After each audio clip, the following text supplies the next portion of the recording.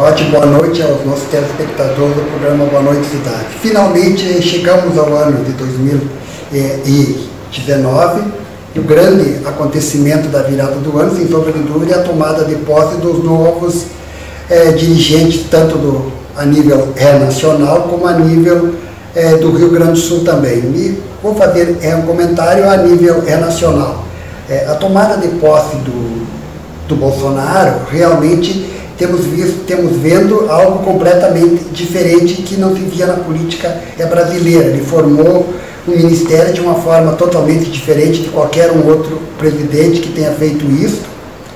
É, e isto, isto talvez nos dê assim uma visão nova, que nós, que nós realmente estamos inaugurando uma nova, um novo jeito, uma nova forma de fazer política é no Brasil.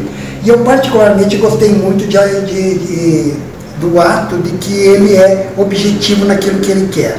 Então, está muito claro isso, isso deve ter sido uma herança dos militares, né, que ele diz claramente o que deseja e o que quer. E é, isso, isso é, eu acho que extremamente é positivo, porque não tem muita é, enrolação nem, nem nele, nem na fala dele e nem na fala dos seus ministros.